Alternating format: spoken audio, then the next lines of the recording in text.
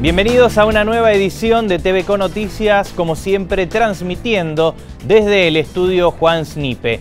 Hoy, día martes 29 de marzo, vamos a estar hablando de la actividad policial porque esta mañana se realizaron cuatro allanamientos simultáneos, dos en el barrio El Molino y otros dos también en el barrio Indios Ranqueles. Además, vamos a hablar del Hospital Gobernador Centeno y de los trabajadores nucleados en el sindicato de ATE, porque allí en el hospital realizaron la primera asamblea del año.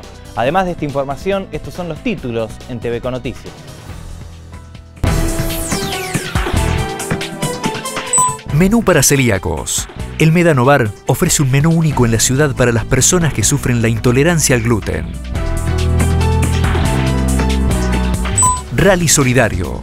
Julián Cosac, participante del Rally Dakar, organizó una aventura solidaria en moto para ayudar a escuelas hogar del oeste pampeano. Llega Teatro Trono Compa, la agrupación de jóvenes bolivianos llega a nuestra ciudad en una caravana de cultura y a presentar la obra de teatro Arriba el Alto.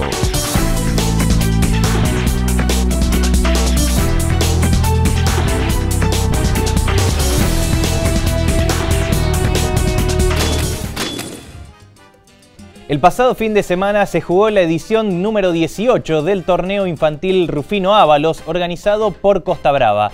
TVC Noticias estuvo el día jueves en el predio de Costa Brava donde se realizó la apertura y allí pudimos dialogar con Rubén Martín, el coordinador de fútbol infantil de Costa Brava.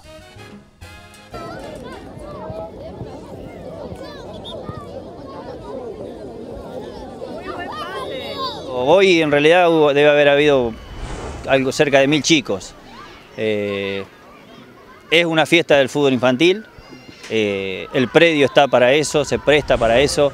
El día hoy a la mañana no nos acompañó por el tema del viento, pero bueno, gracias a Dios después calmó. Tomamos una decisión de, con los árbitros mismos que paraban los partidos y si algún papá estaba medio exaltado íbamos a tratar de hablar con él y si no, no lográbamos que él se tranquilizara, lo íbamos a, a invitar a que se retirara.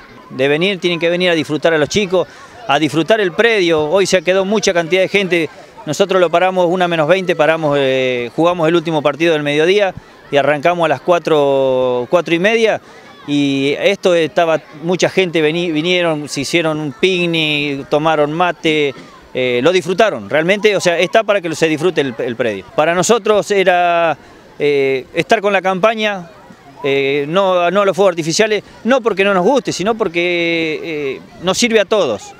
Eh, se va a hacer una suelta de globos, tenemos, eh, gracias a Dios, tenemos una murga para que entre. Va a ser un acto muy sencillito, eh, no, no, no va a haber muchas cosas. la entrega de medalla a cada participante y la suelta de globos que va a ser lo último.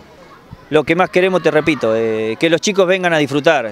vos entran a la cancha y, hay muchos que se, creen que, tienen que ganar sí o sí, y vos después afuera de la cancha los ves que andan Costa, Ferro, Independiente, Pico Fútbol, andan todos los nenes juntos. Eso es lo lindo del fútbol, que aparte del partido después se sigan haciendo amigos. Primera pausa, vamos a conocer las farmacias que están de turno en nuestra ciudad y al regreso estaremos con información del Hospital Gobernador Centeno, de los trabajadores de la salud que tuvieron en el día de hoy su primera asamblea.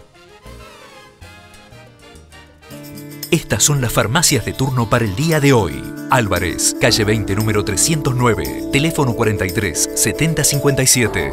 Calegari, calle 17, número 450 Oeste, teléfono 42 3106. Economed, calle 17, número 739, teléfono 43 1050. Santo Domingo, calle 24, esquina 25, teléfono 43 0052.